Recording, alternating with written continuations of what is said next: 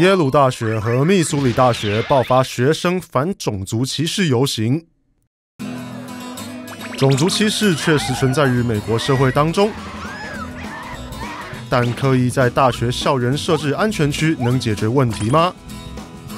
大学曾经是一个让学生面对并挑战不同观点的地方，然而现在大学生的心灵比卫生纸还容易破。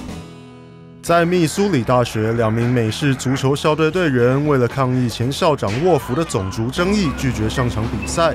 但这行为毫无帮助。沃夫的坐车在十月时差点撞上抗议的学生群众，但失控学生们也粗暴地对待记者，简直就和中共红卫兵没啥两样。在万圣节前，一封电子邮件在耶鲁校园中流传，邮件内文希望学生不要打扮成黑脸。头巾或酋长羽毛头。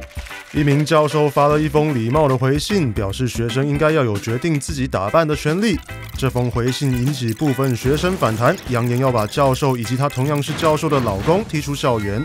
抗议的学生表示，他们根本不需要安全区，然而他们却惧怕直接和另一派学生面对面，理由是因为没人教过他们如何面对。很明显的，这些学生很需要安全区嘛。是什么时候开始，自由的大学生活动变成了正义一言堂呢？或许大学应该开始提供正义魔人学位了。